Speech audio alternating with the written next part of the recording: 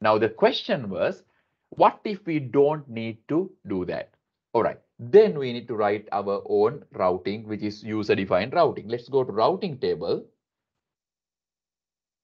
I'm going to configure one routing table to demonstrate this one. Uh, for an example, let's go in there and then select the uh, you know subscription, select the uh, resource group, region is let's say East US, uh, yeah East US, and the name is let's say uh, demo table, right?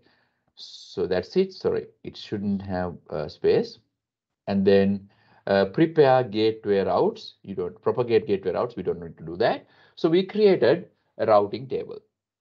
So now we create a routing table. The next, uh, you know, a step is associating a routing table and creating required routes. That is something similar to the way that we did with network security groups. And if you compare network security groups and routing table, these are two things. Okay.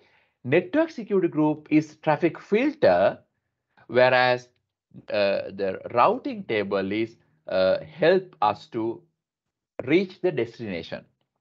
It's like a locator, right?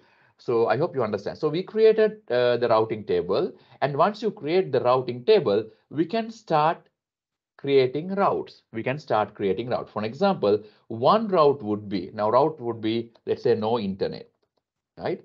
So then we can, sorry, the route would be no internet and specific uh, destination IP address, right? So destination IP address would be, let's say 192.168.1.5, right? So this is the IP address and the prefix is 24. That is actually, sorry, right? Uh, yeah, sorry, sorry, sorry, sorry, uh, zero, zero, 24. This is the region. And the next hop type would be virtual network, internet, virtual appliance, or none, right? So you can select any anything, uh, let's say virtual appliance, and the next hop address is 192.168.1.5. Uh, right? So then we created one route. So routing is, as I said before, it, it shows the destination. Okay. Now, how to associate? The next one is, let's go to our virtual network. And then I'm going to select this one here. And then I'm going to go to uh, subnets and then I'm going to select any subnet that you need to, and then I associate my routing table, which is demo table. So once you do that, the traffic will be routed and then system defined routing will be override by user defined routing.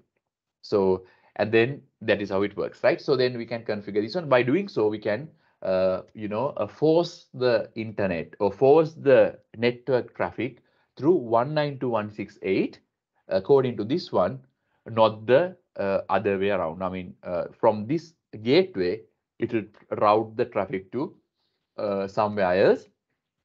Because of that, we will we are disturbing, for example, internet, something like that, right? So it, it, it is how it works.